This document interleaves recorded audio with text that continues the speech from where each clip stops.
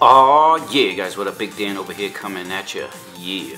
And you're staring at the new piece in the laboratory, oh yeah. 10 inch base, 2 pound unit, inline de-wax. And I just wanted to go over a few features that you guys might want to know about, oh yeah. As you can see, it's got the 10 inch base guys, big heavy duty, super clean welds as you can see. Nice electroplating. Everything's polished up, nice, nice. Oh yeah. And as you can see, it's got dual sight glasses for the base. As well as the big hefty ball valve, guys. And I know there's a lot of controversy out there, guys, with the uh, proper way to do de-waxing. So I'm just gonna uh, go with the proper methods. No slacking. We got the uh, two micron ashless filters. there's one set in here, and then there's uh, in this cylinder right here.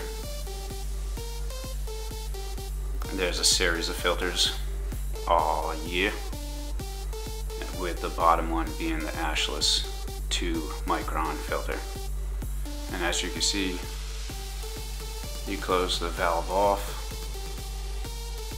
and get to the de-wax column right here which is a full pound de-wax column 18 inches long 4 inches wide oh yeah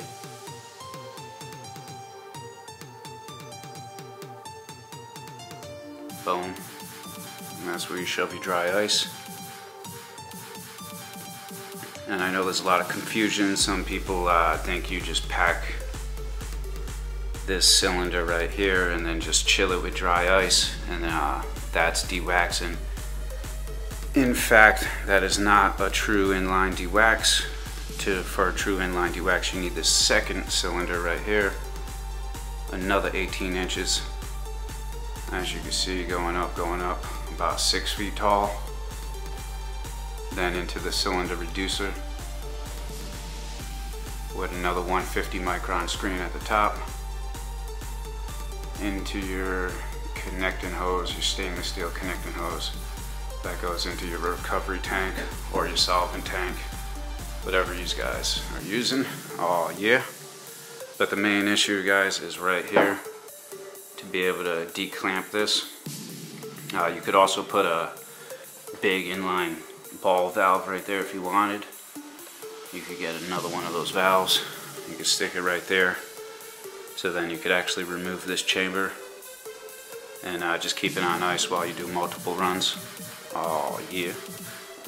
But for us, we just got a nice uh, 150 micron filter right there and then it'll drop all the solvent that goes through the material right here will then just go into this de-wax tank sit there and chill at uh, negative 30 negative 40 sub-zero temperatures for as long as you'd like.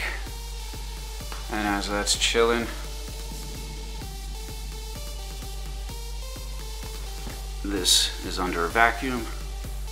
And then when you pull this lever it'll suck everything through. All your lipids will be contained in this array of filters right here which is also the reducer so as you see you have a, a reducer inside of there will be different filters with the bottom one being these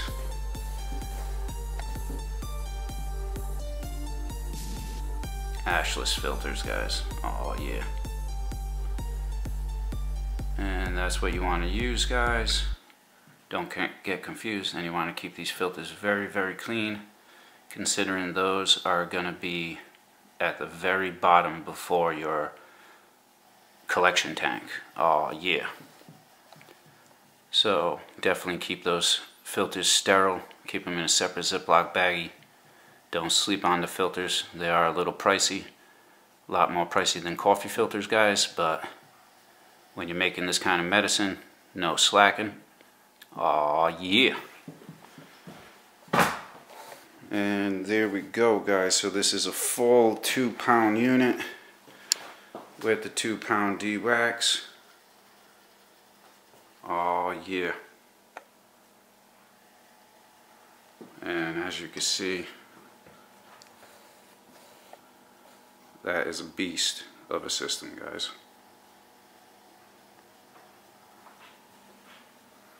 But you know how we do it. Big Dan over here. Gotta do it big or go home. Oh yeah. And with these two sight glasses, that really, really helps in recovering that solvent, guys. And of course, uh, we'll get to a video, let you see how this thing runs in action. Uh, you know more about a grow channel, so I'm going to see if I could get the girls over here.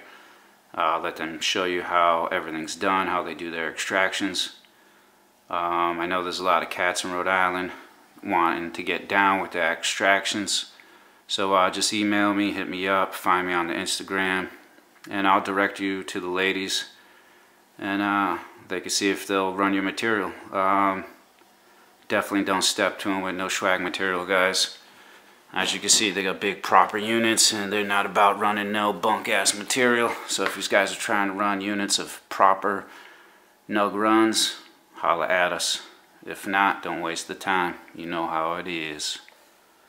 Oh yeah.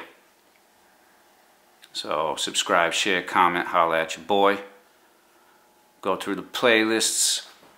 Do the damn thing. Oh yeah. Stay tuned. We'll see you next time. Peace.